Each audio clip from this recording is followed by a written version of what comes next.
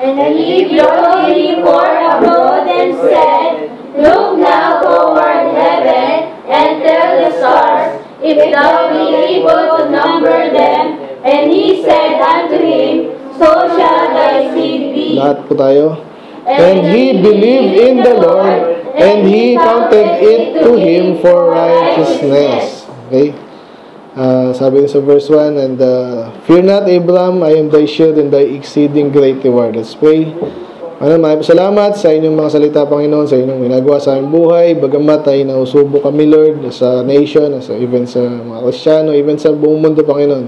May kalituhan, anong nangyayari, ito ba'y ah, palabas lang, ito ba'y totoo, anong gagawin namin dito, ito ba'y judgment nyo, o ito ay pagsubok na kumbaga saan ay susubukin nyo sa kami kung saan kami tatayo.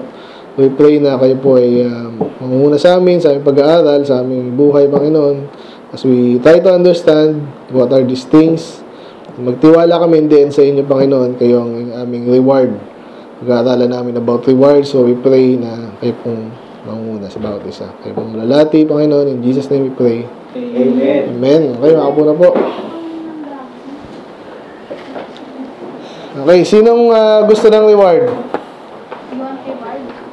Okay, anong gusto yung reward, daddy?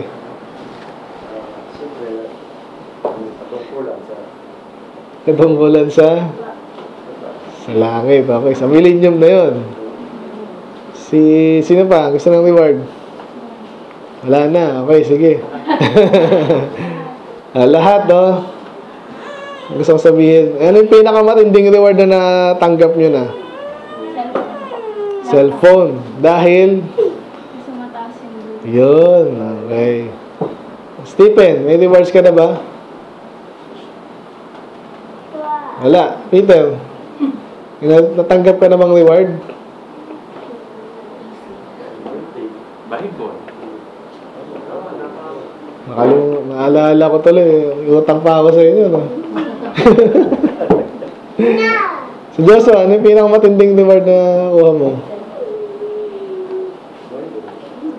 Bible, eh, ano ano lang yan eh. Gift. Iba yung reward. Si Hannah, na-rewardan ka na ba? Okay, so na, ano natin, no? Si Jana, mga bata na lang muna. Cellphone din. Anong ginawa mo para magka-cellphone? Mataas yung grades. Yan. So, yun. So, yung pag-uusapan natin ngayon, yung rewards. Kasi, uh, tsaka iko-contrast natin yung kaligtasan, yung gift, gift, tsaka yung reward. Okay? But, uh, hindi lang yun. Yung nabasa natin kanina, ang Panginoon yung reward natin. Medyo malalim na yun. Kaya ihuli, uhuli natin yan. Okay? So, ngayon, marami tayong verse. Para maintindihan nga natin to Again, iba yung gift, iba yung reward. Ang reward, kaya ka nakatanggap, may ginawa ka. Dahil kanina, example tayo. Oh, actually, gusto naman kayong bigyan talaga ng tatay niyo yan eh. Pero, minsan may condition para ma, ano kayo, ma incentivize, di ba? Yung tawag dyan eh. Kaya sa trabaho, Isip ko rin kung may naka, kung ano bang reward yan, mga bonus. Di ba? Kasi promotion, ganyan. Ano pa? Sweldo kasi, ano na yan? Pwede rin. Reward din yun, di ba? And then, katungkulan, tama yun. So, bakit ikaw ang bibigyan? Bakit hindi siya? Kasi minsan, wala rin choice. ba? At minsan, ikaw talaga nararapat. Okay? Kaya yan ang ating pag-usapan. Ang title po nito is Exceeding Great Reward. Exceeding Great Reward. Ang subtitle, Desire these rewards from God.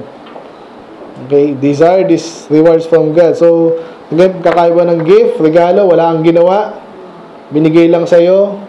Ginawa mo lang, tinanggap mo. Kaya napasa'yo. Pag reward, and dahil nagtrabaho ka, ginawa mo, may condition, oh, itong gawin mo, bibigyan kita nito. Yan ang reward, di ba? Nalamig ka ba? Oo. so, dala kayo ng ano, jacket. Kaya ako, naka-jacket ako eh. Ah, yan.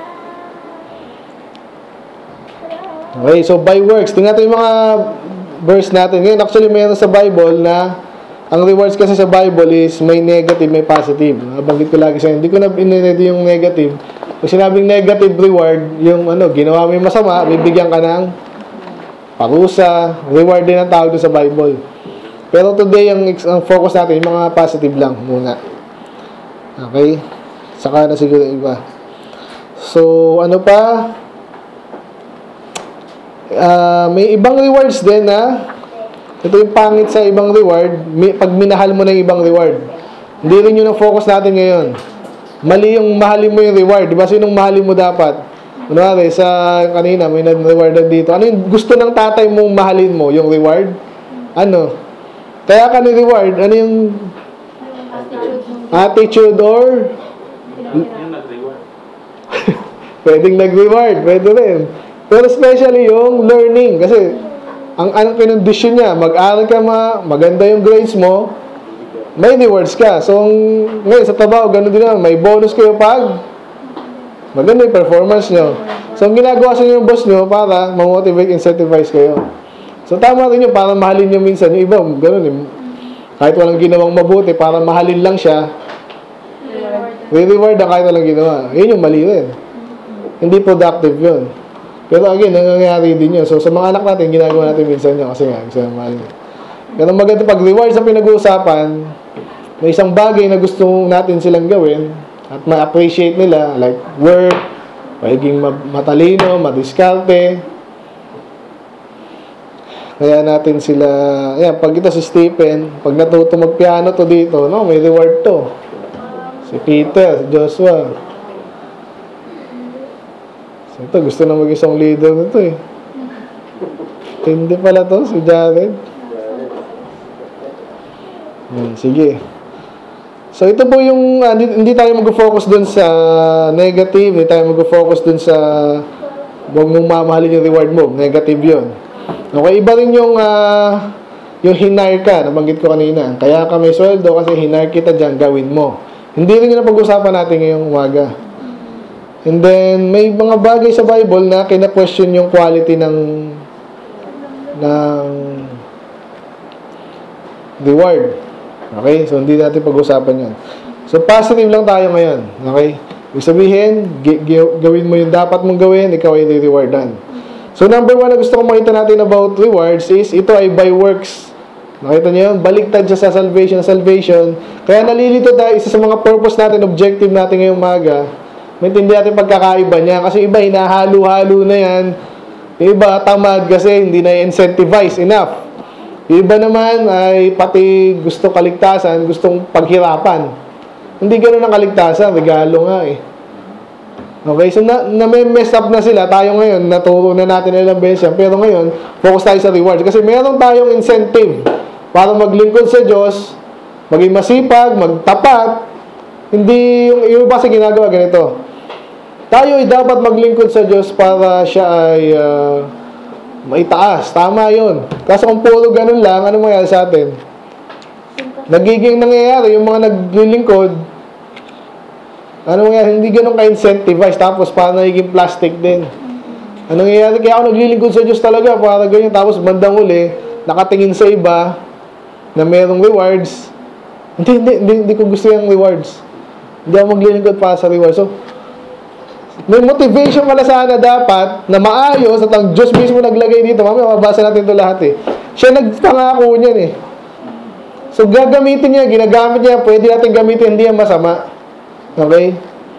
So yeah, so doon tayo mag-focus. So una, by works, ang daming verse natin dito. Four pages tayo. Hindi, three pages lang sa passages. Sabi dito, bakit nasabing by works? Sabi sa Matthew 16:27, For the Son of Man shall come in the glory of his Father with his angels, and then he shall reward every man according to his works. Nakita niyo yun?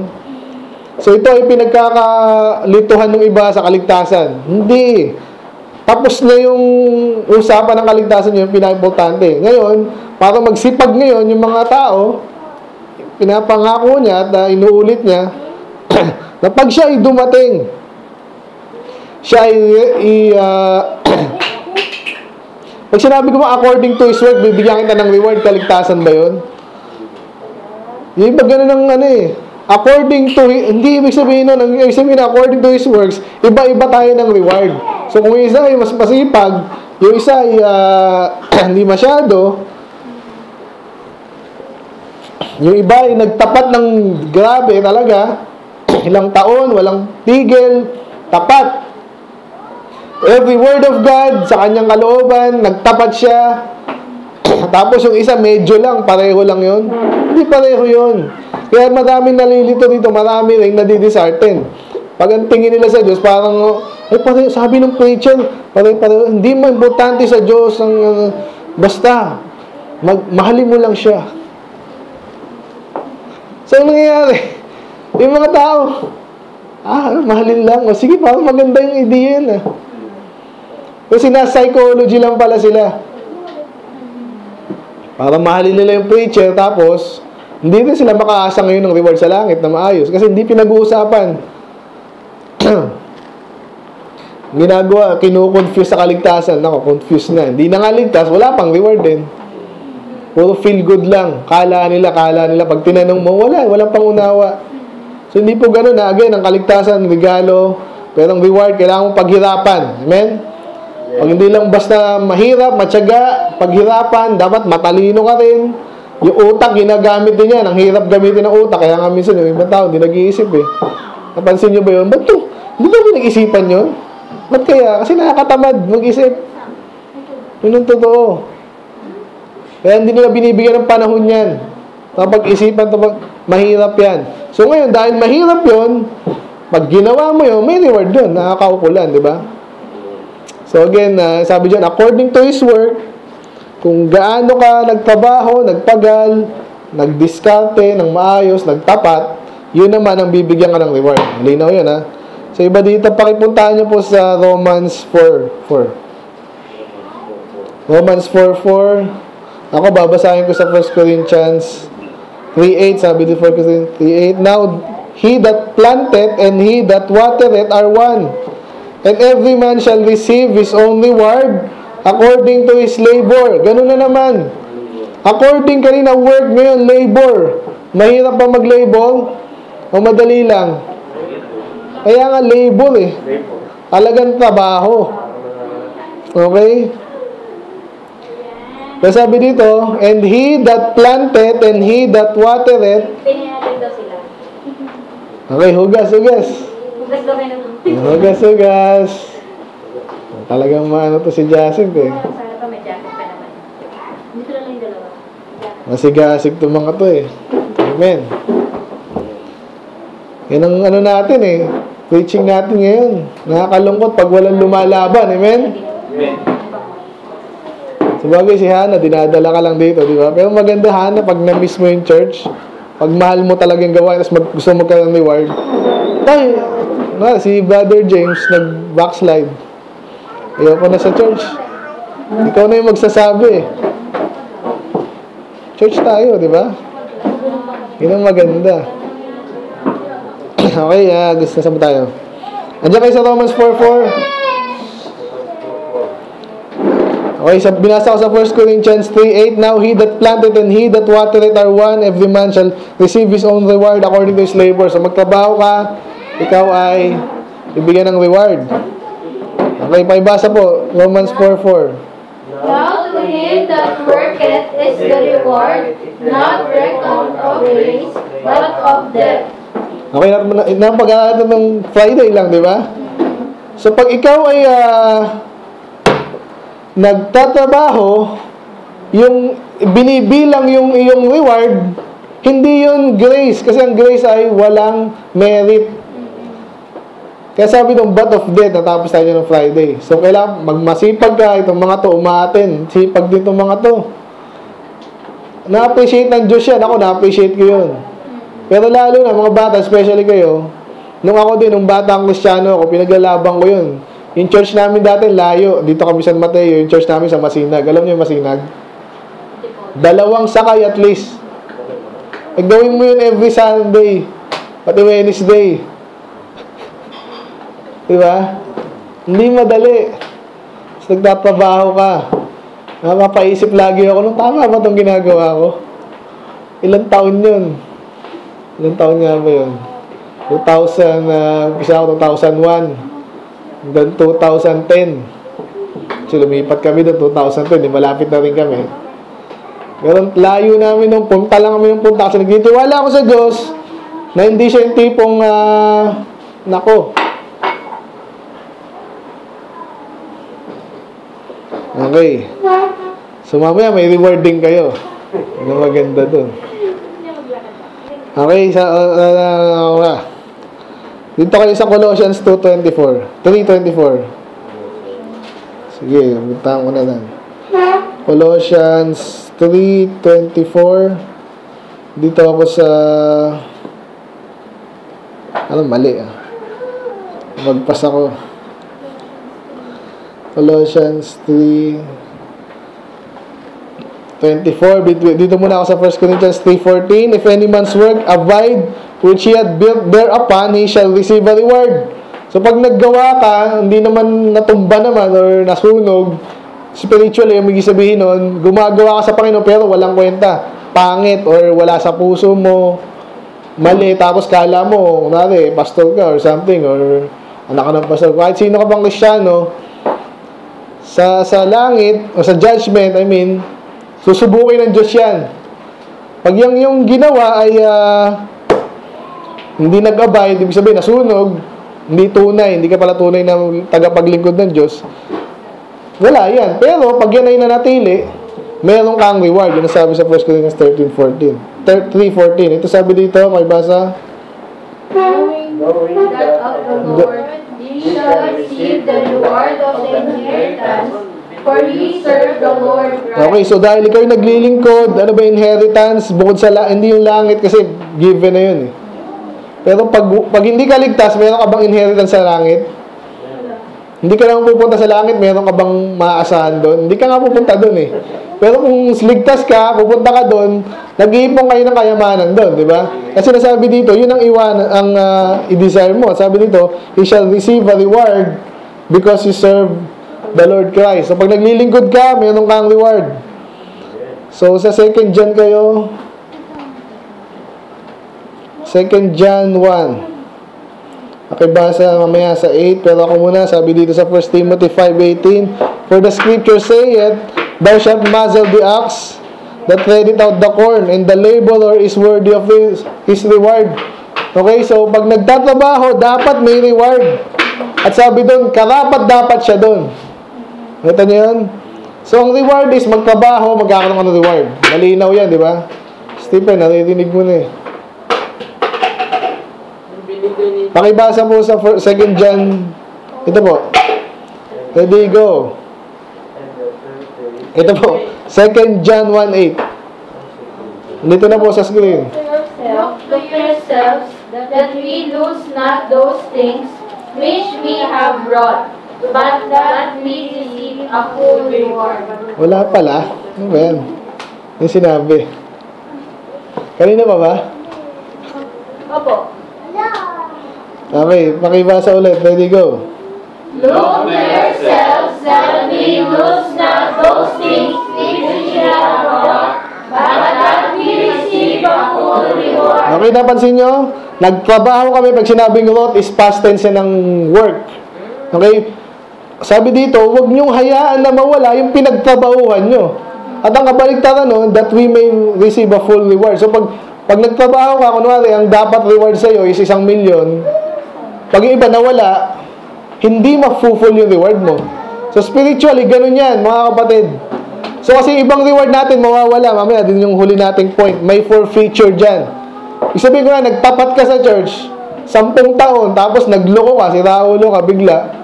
Naloko ka, kung ano mo pumasok sa utak mo, bigla kang nag-backslide. Sa palagi mo, may reward ka. Sabihin mo, hindi, may reward ka na doon sa ginawa. Naku, mali po yun. May mga bagay na iniipon nga tayo doon, pwede pong mawala yung iba doon. Mamaya, makikita natin lahat yun. Kaya ito pa lang yung ano nun. Kaya dapat huwag mong hayaang mawala. Yun nga ibig sabihin nun eh. Huwag mong hayaang mawala. Kasi pwedeng mawala. Di ba? Yun ay sa langit at pati sa lupa. Kunwari, itong mga anak natin, tinuruan natin, ganun din, sampung taon. After 10 years, may asawa na siya. Medyo nasubok, medyo nagkaroon ng anong utak hinayaan mo na, bahala ka na, may asawa ka na eh. Hindi din ganun. Sayang yung tinanim mo sa kanya. Di ba? Katulad itong mga taga-Baybay Sapa ayoko na sa mga taga-Baybay Sapa. Kasi ganyan-ganyan. Pinabayaan mo na. Kaya nga, sinatsaga natin yan kasi sa salamat. Kasi gusto nila umatin, maniwala kayo, taga sila. Malayo lang talaga, kaya nakita ko yun. Follow up natin. Mamaya, sundoy natin sila. Okay, sana sumama iba. Okay, may COVID din daw dun eh.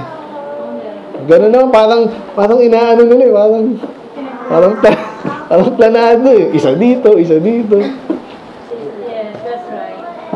Hindi na kung meron doon, kumalat na yun. Anyway.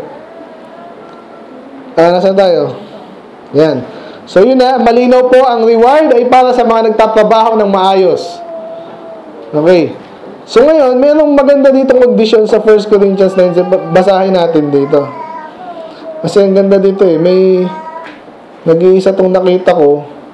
Sabi niya, ito, sabi dito, For if I do this thing willingly, I have a reward. Nakita niyo yun? So, ang reward pala, bukod sa kanina na huwag mong iwala, dapat may condition, merong ah, certain attitude sa pagtatrabaho. Kasi pag ikaw nagtrabaho, para pala sa ibang bagay na hindi ko na, sa kumpanya na lang, hindi hindi ah, hindi ka pa- pakinabang sa kumpanya. Kunwari, ah, ikaw yung ah, madalas sa ano sa kumpanya, yung mga nagsiraan, ganyan. Or kunwari, yung iba is makakita ng malaki, mandadaya. Ganon. Imagine mo kung nahuli ka, ano mangyari sa'yo? Ay, hindi, sipag yan eh. Huwag mo, ano. Hindi, lahat yun, mawawala. At sabi yung iba naman, sumusunod, pero hindi willingly. Ibig sabihin, napilitan lang. Hindi, okay yung magtrabaho, napilitan, at nagtrabaho. Sa Diyos, hindi ganon. Yung sasabi dito, for I, if, okay? Yung sinabing, uh, if I do it willingly, I have a reward. But if against my will, a dispensation of the gospel is committed. So ito kasi yung sinasabi ni Paul na gusto niya, gusto talagang mag, sabi niya dyan, no? Woe unto me if I preach the gospel. So, ganun yung, andun yung zeal niya. Gagawin ko to, anong, kahit anong mangyari. Kasi sinasabi nung negative dyan, yung against my will, eh binigay sa akin to eh. Sa akin kailangan kong gawin to eh. Ano sinasabi niya dyan. Pero gusto kong bigyan ng ah, emphasis dyan, yung dapat maglilingkod ka na rin lang, maglingkod ka na ng willing. Hindi niyo mga bata, lagi sinasabi, pag yung bata dito, inaantok, andito lang naman to si, ano, kasi dinala ng magulang niya eh. Kung mag-isa to, hindi naman pupunta to. Totoo yun sa maraming tao. Maraming bata, except sa dalawang to, ito tong mga to, wala yung magulang nila dito, dito sila, di ba? Yun ang maganda. Pero iba sa atin, di ba, katulad ni Peter, wala siyang magagawa, dito siya nakatira eh. Di ba? Maganda, maglingkod ka, magwing wailing ka na, amen? So, yun yung magandang ano dito. Pero ito yung maganda, another one na special dito, Ah, 1 Corinthians 9.18. Oh, dito lang, oh. Again, dito yung zealousness ni Paul. Ito yung sabi niya. Ito yung tumanim sa akin nung bata pa akong kristyano. Sabi ito, what is my reward then? Ano yung reward ko? Again, may ang ina, ino-urge nito mga Corinthians na maglingkod sa Diyos. So, ginagawa niya example yung sarili niya ngayon. Pero ito yung gusto niya raw reward. Ganda to eh. Sabi niya, Verily, when I preach the gospel, ito yung dapat natin gawin, ano yung gusto niya talaga mangyari? I make the gospel of Christ without charge. Parang baliktad sa mga ibang pastor dito, nakapag-preach lang, sumikat lang, kailangan mayaman din ako. Nakabwisit minsan eh. Pero si Paul baliktad, minsan gusto niya nga, pag nag-preach siya, gusto niya walang, walang obligasyon yung tao sa kanya. Wala siyang reward na makalupa. Yun ang gusto niya reward, parang baliktad, di ba? Hindi po siya nagmamadulong dito, yung sinasabi niya kasi medyo ibang topic to. Ang sinasabi niya dito, nilista ko nga to, magkakaroon akong preaching about this. Kasi mga pastor minsan, mga lingkod ng Diyos, nagkakaroon talaga ng kapangyarihan. Kasi katulad yan, nakikinig kayo sa akin lahat kunwari. Eh, gusto, yung gusto ko, mapapaano ko sa inyo. Ba? May impose ko yung will ko sa inyo. Yung Iba, obviously, pag hindi ka pure, sana sabi ni, ni Paul dito, inaabuso yan. Okay, so mali yun. Pero ang ganda nito, ah, gusto ni Paul, naglingkod na siya, pero ibang tao, walang obligasyon sa kanya. Ang ganda nun. Kasi mas madami yung reward niya doon. Yun ang sinasabi niya dito. Bukod doon sa ibang bagay pa. Okay? And then last, sa positive by works, is yung ah, sikat to. Sa 19 ng Psalms. Psalms 19, 18. Mali, 11. Ibasa ko. Ready, go. Moreover, by them is thy servant warned, and in keeping of them there is great reward. Okay, kailangan natin basahin yung context. Alam niyo yung context niyan? Pag-aralan natin to sa Word of God. Ang ano nito is Word of God. Okay? Ito yung dinefine yung isa-isa. Okay? Actually, kanta to. Alala mo yan, ay? The law of the Lord is perfect, converting the soul. The statutes of the Lord, the fear of the Lord. Okay, ibig sabihin, ang, ang pinakabida dyan, yung salita ng Diyos. Okay? Kasi sinabi niya dito, more by them is thy servant warned. Okay? Dahil sa salita ng Diyos, nawawaningan ako, hindi ko naman alam na masama pala yun. Tapos sinabi ng Bible, huwag mong gagawin to, huwag mong gagawin yan. Nawaningan ka ngayon. Pero sabi dito, and in keeping them, ano yung them? Yung salita pa rin, di ba? Yung salita ng Diyos, nawaningan ka, and pag, pag ah, kinip mo daw yon pag pinanatili mo, binasa mo, inintindi mo, in-apply mo sa buhay mo, sabi dyan, there is great reward. May nakita nyo ngayon. So, ang point natin dito is, kasi introduction pa lang tayo. Ang point natin dito, ang salita ng Diyos, kung gusto mo magkaroon ng reward, maraming reward, magandang reward, hindi mo yun matututunan sa ibang bagay. At kung saang tao lang. Sa salita ka ng Diyos, kasi pag sinabi lang ng ibang tao, nabanggit ko kanina sa inyo, itong sa ibang pastor, ito sinasabi, paano ka ma- magkakaroon ng reward, hindi naman according sa batas ng Diyos. Okay? Alala, anong gusto mo sport, uh, Mamela? Wala. Wala pa. Gusto mo magkaroon ng sport? Ah, maganda yung table tennis. Anyway, sa table tennis, may rules yan. Okay? So, ano ba rules? Hindi, mahirap sa table tennis. Running na lang, okay? eh, eh, madali, mga simple lang. Eh, running, madali lang, simple lang yan, di ba? Ano, sino mo mananalo dyan? Justin, sa takbuhan. Sino mananalo? Inahuli, ganun ba yan? Sino yung mananalo? Inauna. Kunwari, nag-sampu kayo, nag-unahan kayo, nauna si Justin. Panalo yung nauna. Simple lang, di ba? Pero may rules dyan. Sang rules sa pagtakbo, nako, dapat di ka naka-drugs. Kasi nag-drugs ka, lalakas ka nun, pero bawal yun. Dapat kaya ka malakas kasi everyday ka nag-exercise, nag-training ka. Yun ang batas, okay? Kasi sabi dito, kailangan manalo ka, pero dapat you abide by the rules.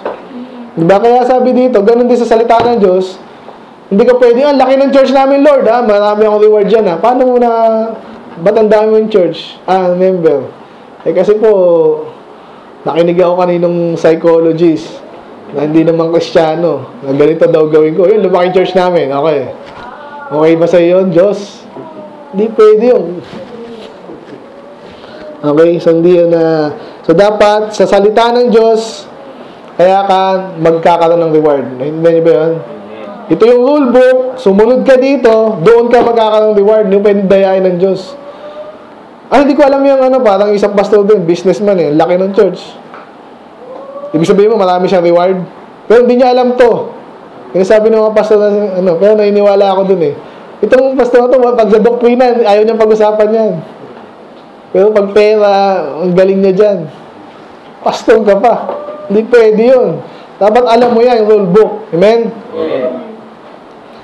So, yun yun ha. Magkakaroon ng reward, alamin mo muna to. Ngayon, may pang ilan tayo. Okay lang may mahabang introduction natin. Kasi puro Bible to eh. Ang nire-rewardan yung righteous. Hindi mo nire-rewardan yung loko-loko. Okay? Kasi sabi sa Psalms 58, ah, dito kayo sa 11.18. 11.18 Proverbs pala, sorry. 11.18. Okay, pero basahin ko sa inyo sa 58.11 ng Psalm, So that a man shall say, Verily, there is a reward for the righteous. Verily, He is a God that judgeth the earth. Nakita niyo yun? Pag ang, Diyos, ang, ang Diyos ay nag-judge, siyempre, sinong reward niya? Righteous. Ang sabi dyan, makibasa po. The wicked worketh a deceitful work, but to him that soweth righteousness shall be a sure reward. Mer meron ba nagsabi sa inyo, oh, re-rewardan kita, tapos nangyari naman. Again, yung sa quiz nyo, nakalimutan ko lang. May reward kayo. Okay? Pero may nagsabi ba sa inyo, may reward ka sigurado, pero wala naman. Yung mga ganun tao. Joke lang. Pero ang Diyos sabi dito, sigurado yun. Na? Pag ikaw ay nagtanim ng katuwiran, lalo yun sa ministry, sa atin, win tayo ng win ng kalu- kaluluwa, kaluluwa, hindi naman tayo mayaman. Okay lang yun. Kasi na sinasabi ng salita ng Diyos, itanim mo yung katuwiran. Ito, kaya tinatanim natin yan sa mga bata. Malaman nila yung salita ng Diyos, yun na yun. May reward ka na sigurado yun sa langit. Amen? Hindi, parang wala naman eh. Sigurado yun, sinasabi ng salita ng Diyos. Magtanim ka ng katuwiran, maging makatuwiran ka, okay yan. So, may nakalimutan ako, may sumingit dito. Ecclesiastes 4.9, sabihin ko lang, Two are better than one because they have a good reward for their labor. So, trabaho, reward. Especially, pag gusto nyo ng mas malaking reward, magtulungan kayo. Yung sinasabi dito. Pag kayo nagtulungan, mas maraming reward sa inyo. Okay? Hindi ko na elaborate yun sa kumpanya, ganun yun. Madi-divide, pero kung malaking kita nyo, dahil nagtulungan kayo, di ba, parang kami nung mga bata kami, nangangaroling kami, hindi ko sinabing mangaroling kayo. Kaya mga, mga bata kami, kasi yung mga tao natutuwa pag yung dami nyo, magaling. Ang gagawin namin, sama-sama kayo, talagang lalakasan namin, uy, may ano, maghahatian na kami. So, pag may discount kayo, nagtulungan kayo, kahit maghahatian kayo, marami kayo, malaki pa rin ang reward. Kasi, marami kayong, ano eh,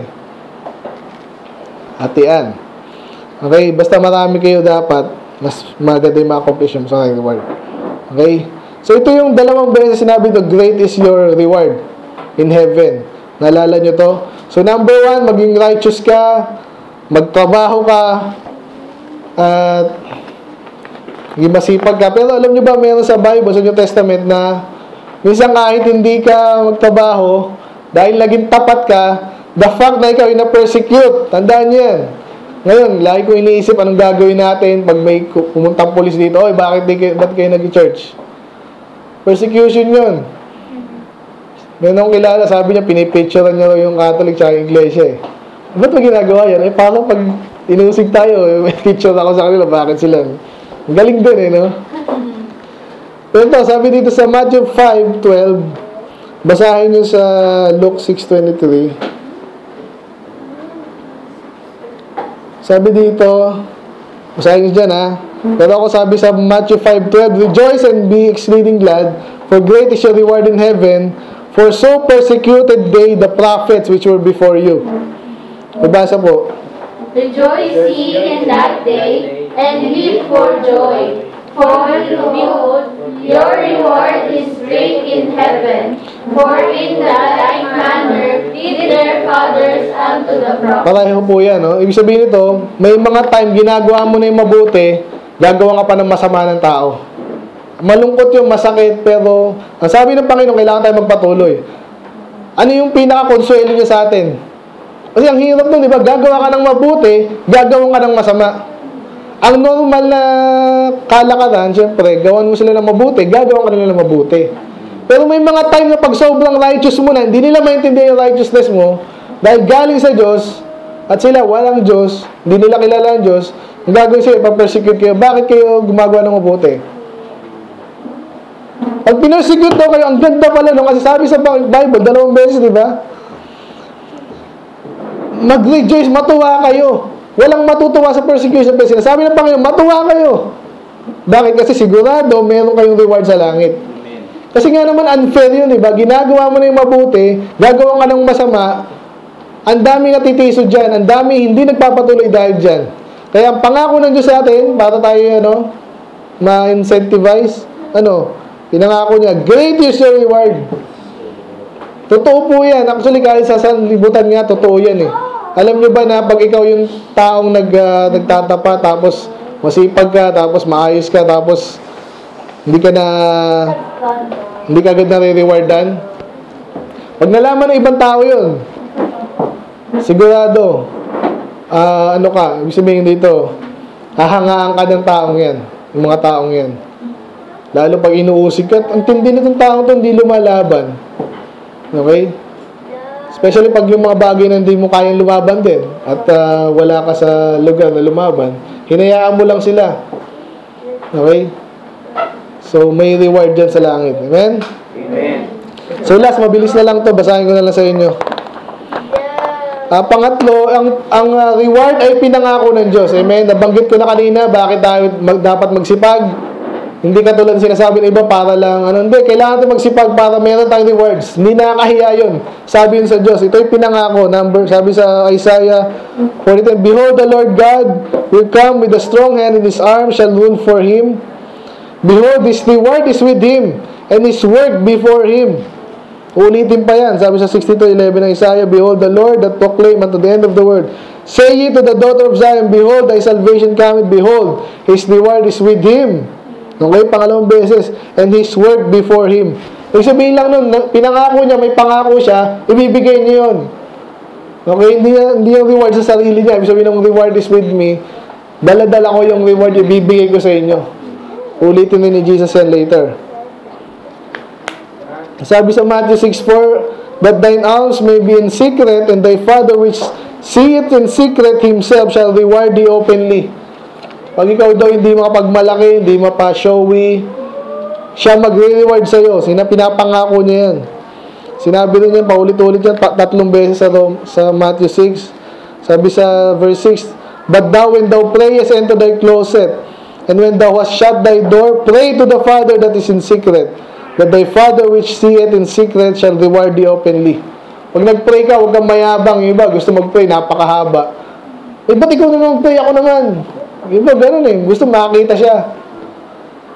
Pero ang Panginoon sabi niya, mag-pray ka ng secretly. By the way, tuloy-tuloy ba kayong pray? Gusto isama rin namin kayo sa prayer. Chat lang naman yun eh. Okay, si ano, wala pa. Kamusta yung, yung ano mo? Kapatid mo, okay na daw. May pinag-pray namin yun. Na ano kami, tinakot kami ni nanay eh. Hindi lang makahinga yung kapatid mo, kaya salamat sa Panginoon. Amen? Sabi sa Matthew 6.18, That thou appear not unto them to fast. Sinabi lang, inulit lang yun. Dapat ang Panginoon, pag nag-pray ka secret, ginawa mo yung dapat mong gawin in secret, ibig sabihin, hindi ka nagmamalaki, ikaw ay i-rewardan. Pangako niya yun. Whoever shall give to drink unto one of these little ones a cup of cold water, only in the name of the disciple, verily I say unto you, he shall not no wise lose his reward.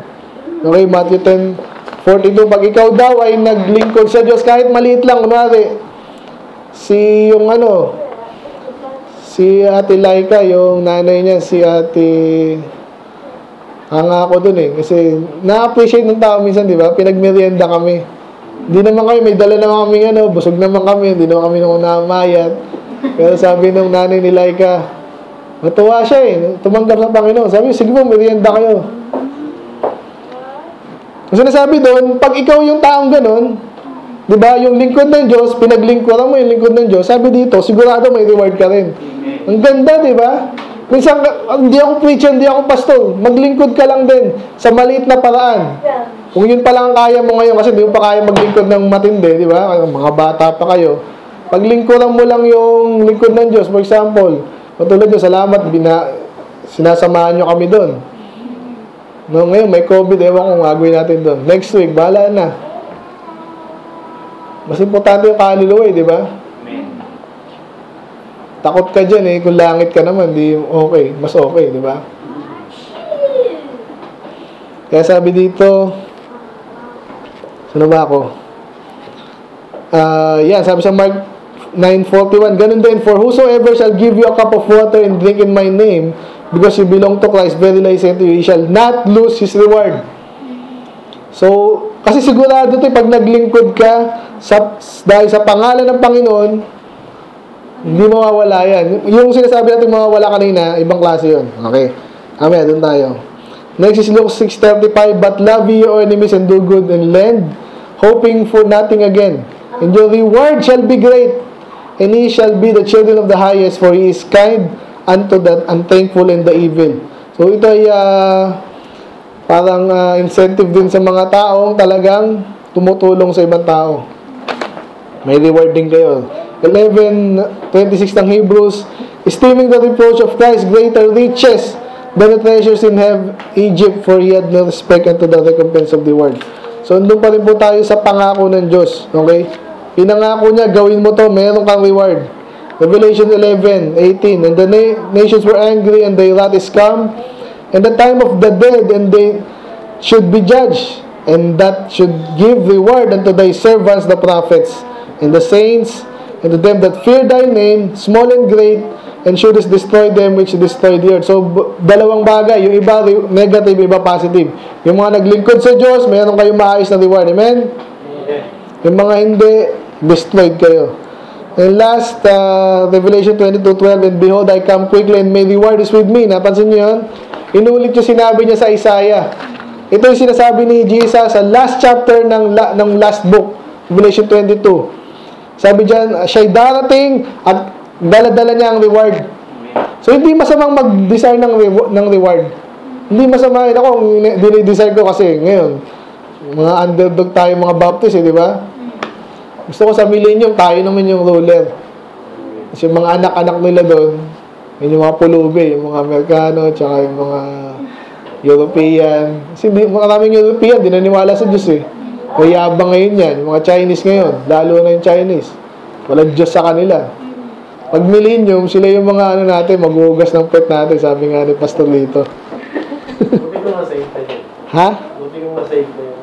Di ba, sa millennium kasi may mga unsaved din sa millennium. Yung iba, saved, andun sila, pero yung mga hindi naglingkod ng gusto, naghari-hari, maraming ganun eh. Ligtas yan ngayon sa mundo, pero hindi naglingkod. Sa utang-utang nila, okay na yung ligtas na ako. Eh yun, sa millennium, 1,000 years yun, tapos later pa, wala silang reward. Na, na ano nyo ba yun? Ang pangit ng gano'n, no? Dito, yaman mo, tapos bigla, ligtas ka nga, tapos ikaw yung ano, utosan ngayon ng mga dati, nilalait mo. Na naglilingkod ng tapat sa Diyos. Nilalait mo. Sige, tingnan natin.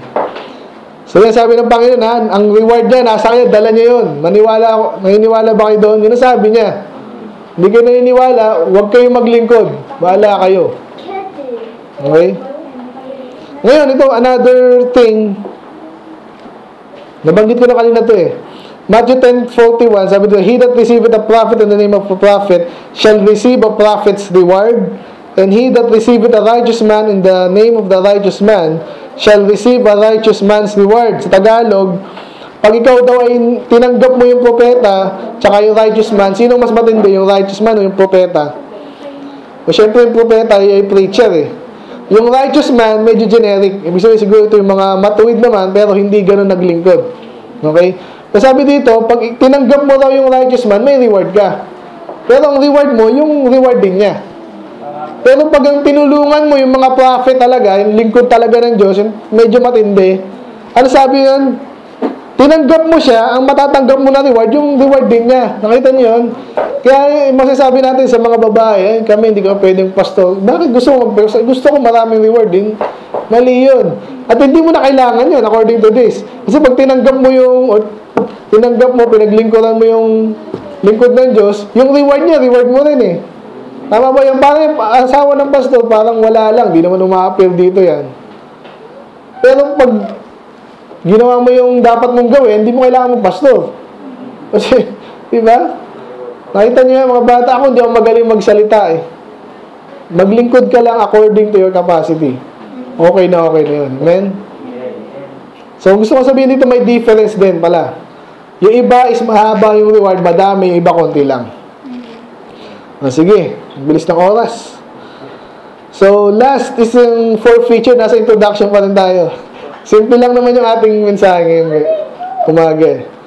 Pero last is yung, ang rewards ay pwedeng ma-forfeit. sinabing forfeit, nagkaroon ka na, meron ka na sana, nawala pa. Nagkaroon na kayo gano'n? Ay, may pera ko, nasa na? Nawala, eh, sayang naman. Naging bato, iba, gano'n. Sabi sa Proverbs 24:24, There shall be no reward to the evil man, the candle of the wicked shall be put out. No? Una, walang reward pag ikaw ay masama. At ikaw, pag sinabi put out dito, papat mamatay ka. Okay? So, pwede kang magkaroon ng reward, wala. Namatay ka na. Pag namatay ka na, hindi ka na makapag-ipon. Kasi wicked ka. Okay? So, doon tayo sa mawala. Take heed that you do not your alms before men to be seen of them otherwise you have no reward of your Father which is in heaven. So ito gumagawa na siya ng mabuti, bibigay siya sa mahirap, tapos nawala pa. Kasi yan ang ginawa niya. Kasi pinakita niya sa lahat. Oh, nakita niyo ba, nagbibigay kami. Picture, picture, post. Nawala. 6.2 Therefore, when thou doest thy alms, do not sound the trumpet before thee, as the hypocrites do, sabi dyan, verily I say, they have their reward. So, pag ikaw daw ay ganun, meron ka ng reward, pero negative yun. Ibig sabihin nito, nawala na yung reward mo. Kasi, yung dapat na reward sa'yo ng Diyos, kinuha mo na dito sa lupa. Eh, dito sa lupa, hindi naglalas ng mga bagay, hindi tumatagal. So, kung hindi mo daw pala pinakita sa libutan na tumulong ka, yung reward mo nasa langit, iniipon mo doon. At malakas ang interest doon, malaki. Dito, inflation pa lang, kung talo ka na, di ba? So, yun na po yung atin. No? So, ngayon, dito tayo sa message. So, simple lang naman to. So, na, na ano po yun ha? May negative, positive. Ah, may condition yan. May, sa Word of God tayo dapat mag ah, batay para sa, tama yung ating reward, maayos at hindi mawala. Ngayon, tingnan natin yung ating points. Dahil tayo sa ating text, ah, dito sa Genesis 15.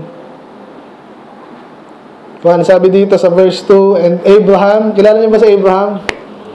Si Abraham yung dating pinagsimulan ng Diyos, ibig sabihin, masama yung sanlibutan, di ba? May Noah's flood, pinatay niya lahat. Okay? Tapos nag-umpisa ulit yung 8 people, tapos dumami na naman sila. Yung mga tao, hindi na naman naglingkod sa Diyos. So, kay Abraham nagsimula ulit dahil si Abraham ay may tiwala sa Diyos, naglilingkod siya sa Diyos. Kasi sabi dito, wala siyang anak.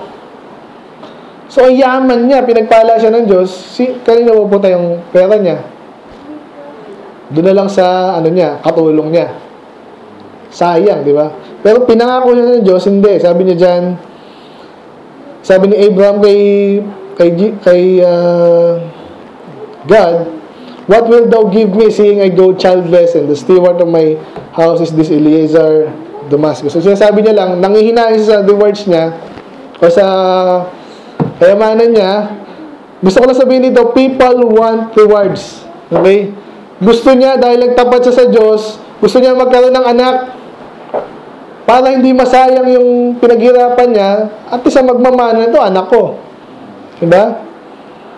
So yun ang na, ano, again, may positive and negative dyan. Pangit yung gusto mo ng rewards dahil lang gusto mo. Pero ang maganda doon, tama lang naman na, again, biblical po yung pinapasa yung kayamanan ng nanay, ng, ng magulang sa anak.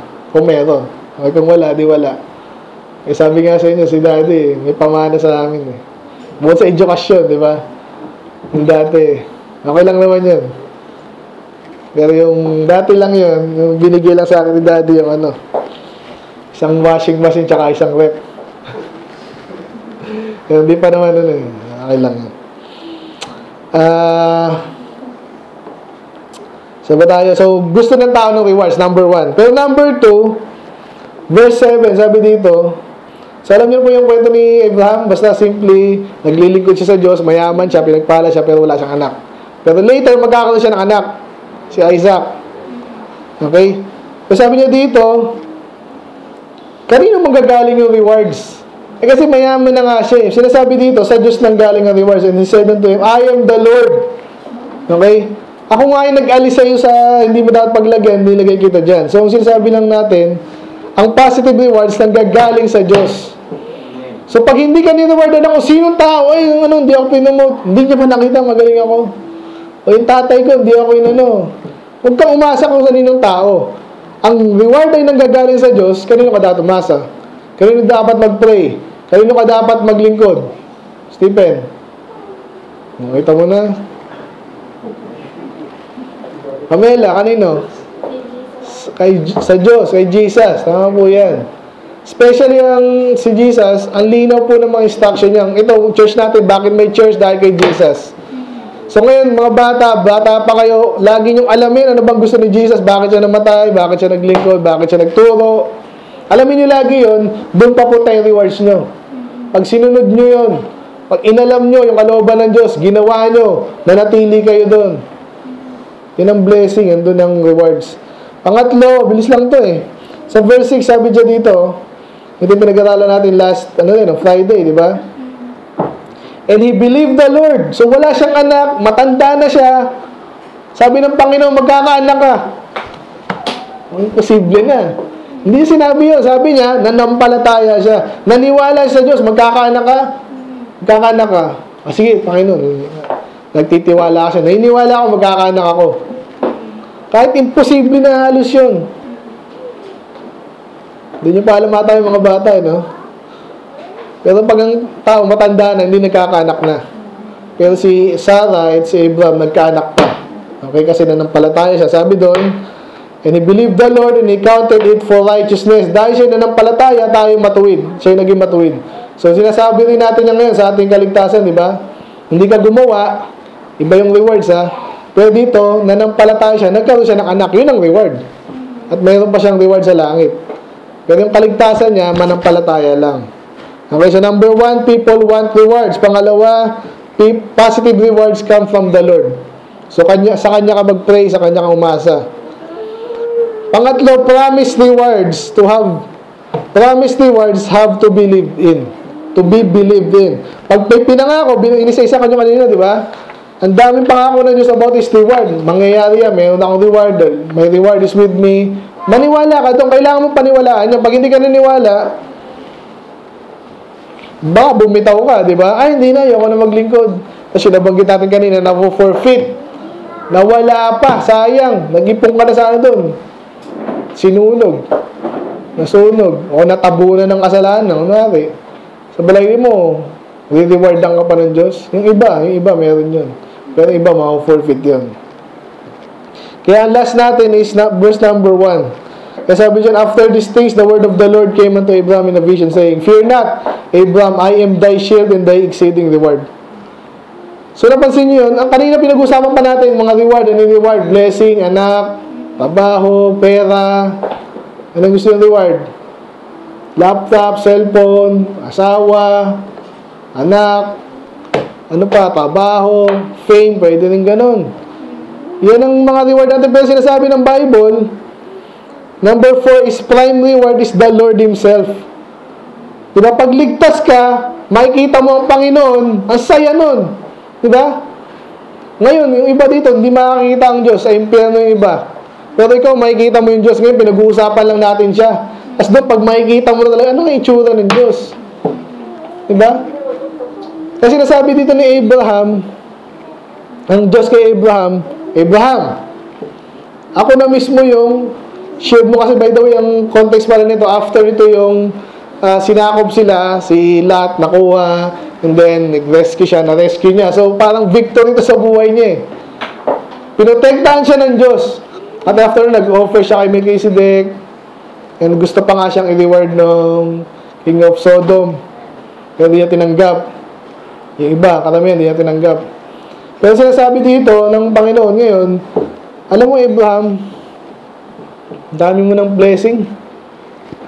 Pero alam mo ba Abraham, ikaw ay naprotektahan, ako talaga yung nagprotekta sa'yo. Kaya ngayon, ang dapat mong i-design na reward, ako mismo. Kung ang Diyos ay para sa'yo, wala nang lalaban sa'yo. Tandaan niyo yung mga bata. Darating kayo doon. Nasabi nga sa'yo, sana yung mga magulang, pinag-pray natin, sineshare natin, di ba? Pero minsan, may mga kilala kami yung ganun. Ultimo magulang nila, naging against sa kanila, si Jeremiah ganun. Alam niyo ba yun? Ginitray siya ng kamag-anak niya. Kaya sabi ng Panginoon din, mahalin niyo ako higit sa inyong mga magulang, kapatid. Okay? So, ang pinaka-reward natin ng Panginoon. So, bukod tayo maligtas, siya mismo, kahit nasa lupa ka, kung kasama mo ang Diyos, kumpleto ka na. Siya yung reward mo. So, lagi mo tatanungin, kasama ko ba ang Diyos ngayon? Today, bukas, sa plano ko sa buhay. Kasi sasabihin, siya pala yung reward ko eh. Ay, wala akong ano, katulad ng kapitbahay namin, nagpapalit ng kotse every year. Nakakaingit. Wala naman sa, sa Panginoon. Naingit ka ba doon? Hindi sila ligtas, hindi ka maingit doon. Kung ang Panginoon ang Panginoon mo, nasa iyo ang Panginoon at ang ikaw ay nasa Panginoon, you have the great and exceeding great reward. Amen? So, i-design natin yung reward. Okay? Naintindihan niyo po ba? Naintindihan na natin. Ang Diyos ay may justice. Hindi siya pwede hindi mag-reward. Sigurado yun. Basta maglingkod sa Kanya ng tapat, meron siyang reward. Kaya magtiwala ka, pinangako niya yung reward. Salamat, ligtas na tayo, done din na yun. Pero, ang hindi pa tapos, yung pag-iipon natin ng reward. Mag-iipon tayo ng reward, mag-iipon tayo ng reward. Habang tayo nabubuhay dito. Kaya gawin natin ang best sa Kanya. Okay? Para ma-honor siya, at, iba kasi tinatapos na dun eh. To honor, basta ma-honor lang yun na. Mga plastic na ewan eh. Ilang beses ko narinig yan. Kumakamot lang ako. Ba't hindi tinutuloy yung rewards? Eh, napaka-righteous ng Diyos. Okay? Kaya tayo, hindi tayo ganun. Tayo, ino-honor natin ang Panginoon. Isa yon. Pero pangalawa, nag-iipon tayo ng rewards. Hindi yung selfish. Siya nangako nun eh. Amen. Okay? At ang reward niya napakaganda. I-desire natin. Amen? Amen. Ano yung mga gusto niyo i-desire na reward? Baka hindi natin naintindihan. Ano ba yung reward sa langit? Ang langit ay sigurado na sa mga ligtas. Ano yung kailangan natin desire? Ano pa? Crown. Crowns, mansion, Position. masaya sa langit. Si ano, masaya daw sa, lalo sa langit, masaya kapag totoong ligtas ka. At marami kang reward. Ang hirap nung nasa langit ka, konti lang reward mo. Amen? Sabihin natin marinig yung ganyan eh. Let's pray, Panginoon. Ma'am, salamat. Naintindihan namin, Panginoon, na kayo pala ay nangako ng rewards. Ito ay bibigay nyo. Salamat, salamat po dito. Napakaganda. I believe nito. Yung ibang bagay ay sinabi nyo na. Yung iba ay hindi ma-describe. So, we pray na iwala kami sa inyo. Kayo ay uh, just. At uh, madala sa lupa, Panginoon, hindi kami ma-rewardan. At magtapat lang kami, Panginoon, mga bata dito especially, maipon sa Kanya, maturo na sa ng tama as early as possible. Gawin nila, Panginoon, magtiwala sila sa inyo para nawa ay sila ay magkakaroon ng maraming reward. Maraming salamat sa kaligtasan. But uh, ang rewards, Panginoon, ay iba pa. So we pray na kayo po yung uh, muna sa amin. Kayo po yung malulati rin. We pray also for the food na gasalo-salawan namin. We pray also for persecution na hindi kami ma-persecute, Panginoon. Gawa lang naman namin dapat ng gawin. Mga batang ito, Lord, yung may sakit daw po, Panginoon, doon, ay hintuin niyo po yung mga virus na parang hindi makahawa na, Panginoon. Kaya malalati. In Jesus' name we pray. Amen.